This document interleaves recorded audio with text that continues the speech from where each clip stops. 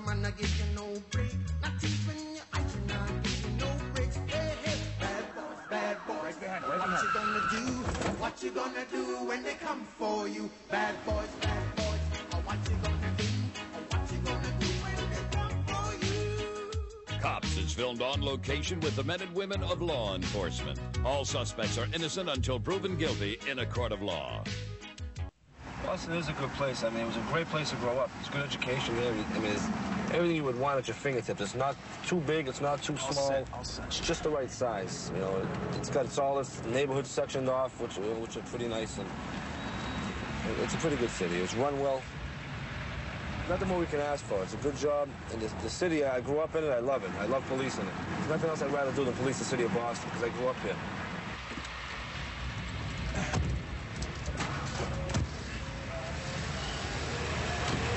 Got on a white uh, sweatshirt with faded blue jeans. Yeah, Peter, you're up to something over there. What do you got, in the It's alley? Joel, yeah, it's Joel. Joel, man. Pull around here. Get out on foot. All right, listen, I'm gonna go in the alley, all right? I'll come up the, the elevator, cut him off on that side.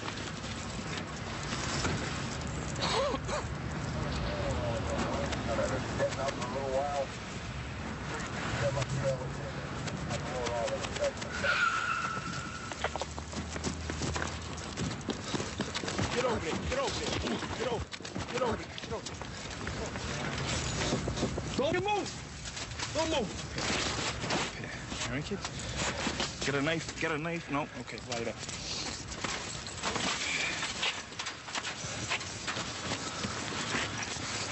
Might have had something like he came out of the house.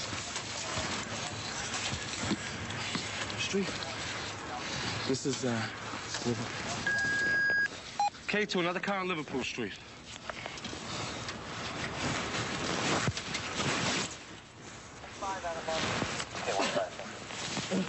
I got him. I got the stuff. You did have it, right? Throw them all out. Joking? What the Spit them all out. Here we Spit 'em go. all out. Here we go. Isn't that sweet? Ah. Out, out, out, out, out. Drop Spit them them out. all out. Don't do any more. Don't do any more. Uh. Idiot. Huh? Real cute.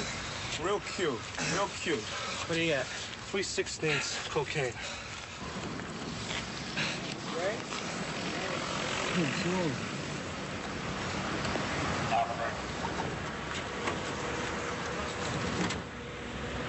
many did you have altogether? That's it.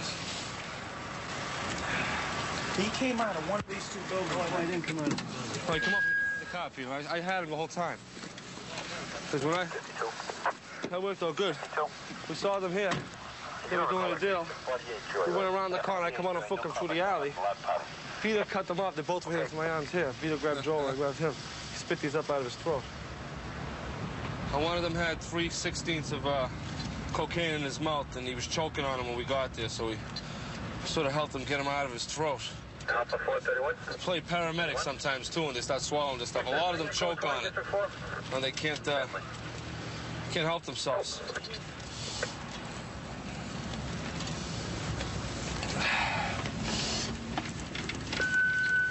Alpha 420 around. We ran into a nice picture. Kid was choking on these. Yeah, spit up. Joel, another kid. Again? Yeah. Yeah. yeah. Grab Joel, Chuck these. Yeah, come on. Slippery kid. Good ones. You got pictures? Had nothing to do with it, Joel. I was walking to the liquor store. Nah, you're doing more than that over there. You're doing a little more than that. I'm serious. I'm, I'm telling you the truth. I ain't gonna lie. I ain't gonna lie. Uh, 32. You're being arrested for possession of Class B cocaine with intent to distribute. Possession of Class B cocaine with intent to distribute within a thousand feet of a school. Okay? You have the right to remain silent. Anything you say or do can be used against you in a court of law.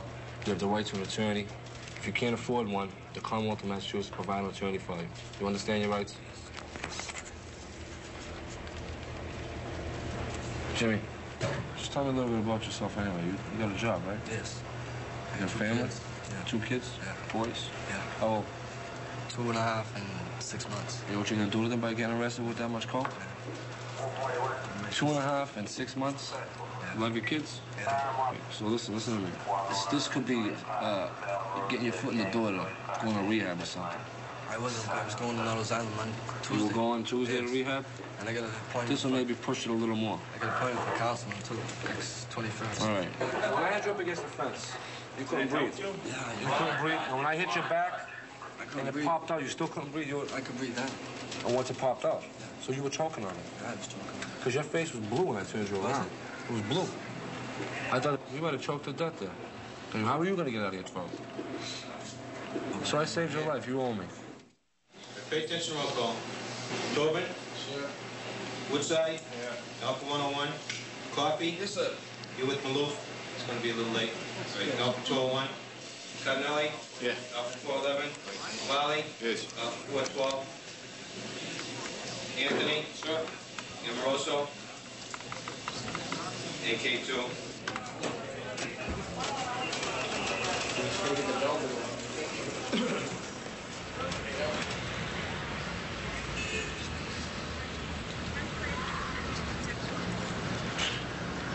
You got a report that a female is passing a phony script to try to obtain some uh, controlled substance and some type of narcotics. And here we're here now.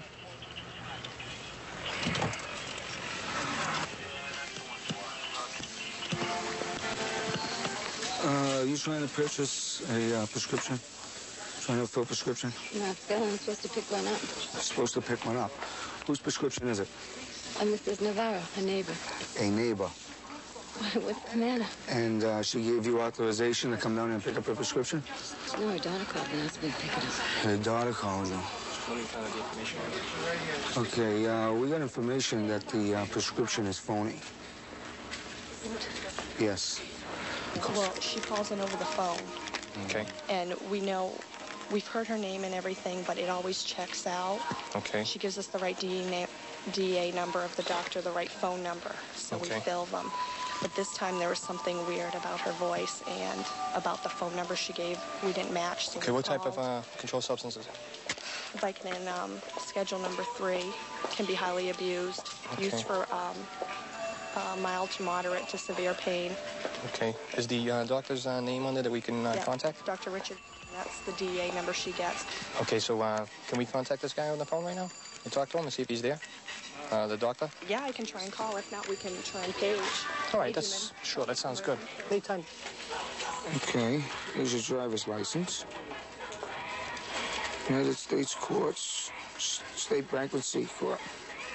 And where's this located? at? I'm right on Causeway Street. On Causeway Street? Um, we've had a woman calling in fake prescriptions under your name and your DA number, and we're have investigating investigating it to have her arrested. Can you please get back to us right away? It's emergency. Well, you're trying to pick up a prescription that's a phony prescription. But I didn't pick up anything. I want to know what I'm charged with. You're not, you're not under arrest. You're not under arrest. Sergeant coming down here is going to be We're- with talking with you. I just gave him all the information. Well, that's why I have my sergeant coming down here. I have a supervisor that comes down. Person that applied for this prescription gave a wrong number. I am an attorney. Am I under arrest or not? Can I leave or not? Ma'am, let me tell you something. Right now, we're making a determination where we're holding you here. We, I don't care if you're an attorney or not. All right?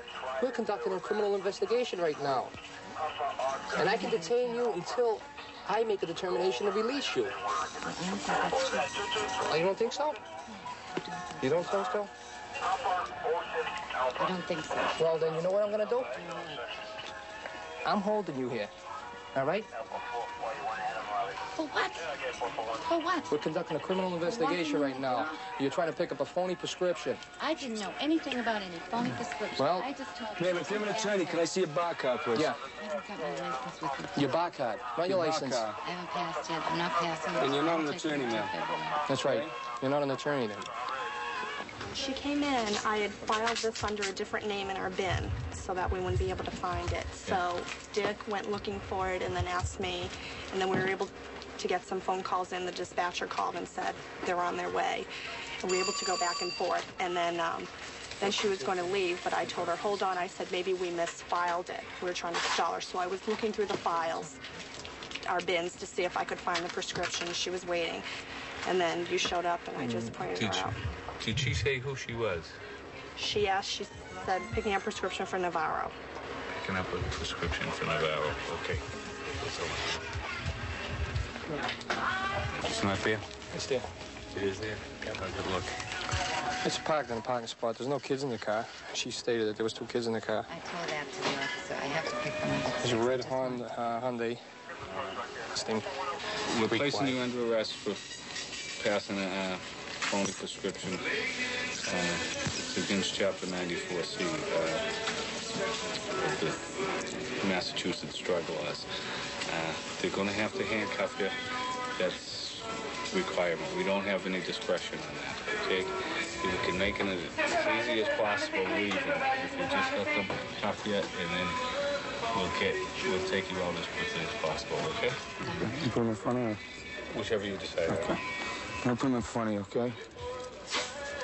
Besides, I'm gonna get a copy of the script on the uh, Xerox copy of the script for the evidence. Guys, do we have a car? We know we want the script. Search the car for evidence. All right. Uh, Amy Cosatore? yeah. She was pretty well up on her laws in regards to knowing what she was doing. And she attempted to leave the scene saying that she was a lawyer, when in fact she is not a lawyer. She stated to us that she had two kids in the car. Actually, don't have two kids in the car. I have two plates here. Uh, actually, I have two other plates here, two different numbers in regards to the, the original number. So there's a possibility that she's a pretty good scam artist. What we're finding here is uh, Okay. prescription bags, some prescriptions. Uh, you go to the drugstore and fill a prescription, they'll put it in a bag like this and usually staple the receipt to it in the person's name. We've already come up with one paper, one bag like this that's in another person's name. Now we got some more bags that we're gonna go through. There's no name on this bag here, but uh, looks like she does this for a living. Each script so far has not come up with the same person's name. We have seven different names that have come up. Spoke to the doctor. Um, him or his secretary never gave authorization for this, and he would never call in a prescription of this type over the telephone. All right. So, This is a heavy narcotic, isn't it? yeah, heavy narcotic, similar to Percocet, codeine in the same family. This girl's good. This is one of the best I've ever seen. She's got four different license plates. She puts on the cars, different uh, locations. The bills are all different names. She's got checks with people's different names on it. And she's telling us she's a lawyer. She got a law card. She's pretty good. All right, we're going up to Saratoga. We're going to execute a warrant up there. It's a one-family house. Um, target's name isn't important right now, but the guy's a 70-year-old individual. Maybe uh, his wife up there, maybe a daughter, 20, 22 years old with a child, and her living husband. Uh, we're going for cocaine. If entry is denied, when Chuck goes up there on the roof, we're going to bang the door.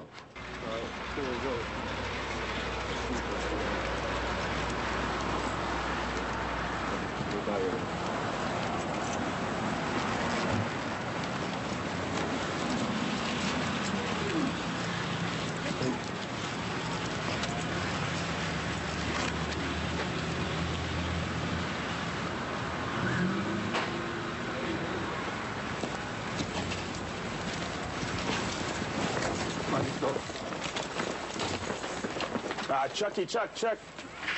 I got it, I got it.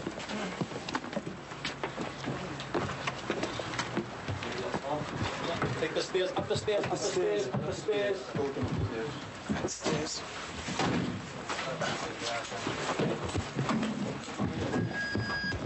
Guys, we're in, we're in.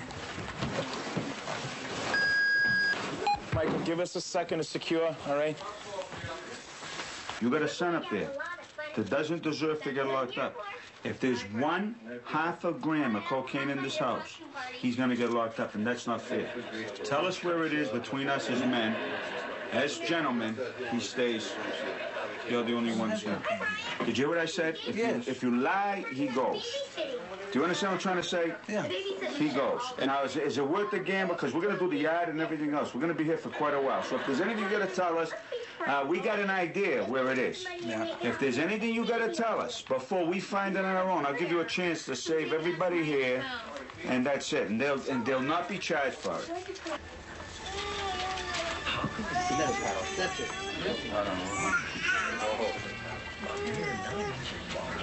He says he pretty much gave us all this stuff. I don't believe it because uh, it runs in his family. I put his son away, and his son, we caught him five times in one year dealing cocaine.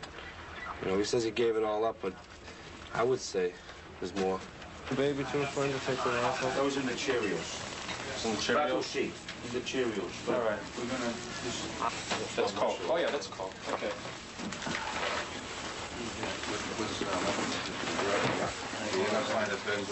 Johnny, why don't you leave that stuff, all right? We'll, you know, you can pick that up later, all right? Just leave it there. I'm gonna, I'm gonna pet John.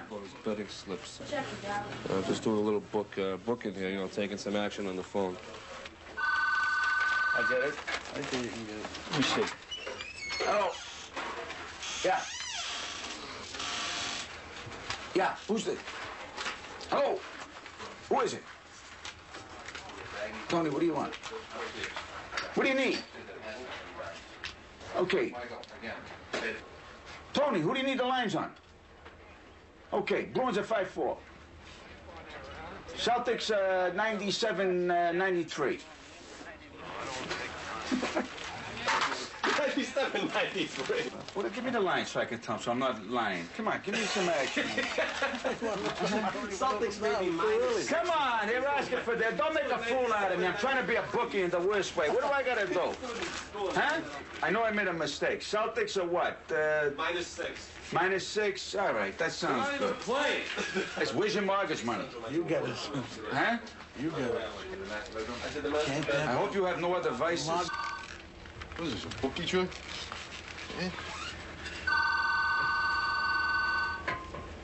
What do you need? Uh, he's uh, out. I gotta take care of business. What do you need? Frankie. Frankie. Okay, okay, but he ain't gonna be back. He went to Chelsea. He ain't gonna be back for an hour. Yeah, so he says if there's anything I can help you with, I, I'm taking care of shop. All right. What do you need? How old are you? Fourth race, number one. What? Seventh race to four. Ninth race to five. Okay. Okay. You're all set. Someone's gonna, someone's gonna have to pay this guy off. If he wins. John, what do you got here? This is something. Huh? This is an unbelievable operation. What are you trying to get out of the hole for some reason? Or you got bills and what? Yeah, I know it, but we all have to survive. But, you know, there's a way to survive right, and there's a way to survive wrong, right? Yeah. Uh, we're just a short distance. You wanna ride with him? Take Mr. Patty in? Jimmy, when they leave, close all the doors, Jim?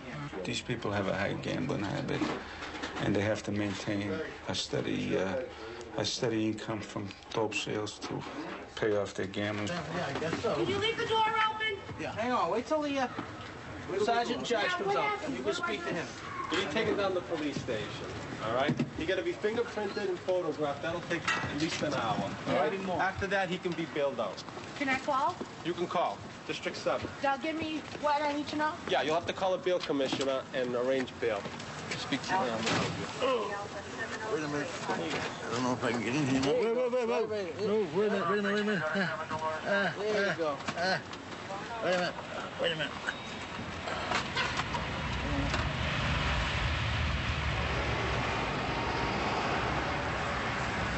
Now 70 years old. Feel bad for the rest of the family. You know, they got a son in jail for that. Now, now the fathers might be going to jail for it. It could be trafficking if we have enough. Like father, like son, right? You know, but uh, he had what was coming to him. He's been doing it for a long time. 132 in Bush. I've got him at gunpoint. Okay, gunpoint. 132 in Bush. Covers code 3. Kingston. Okay, we'll still send it code 3.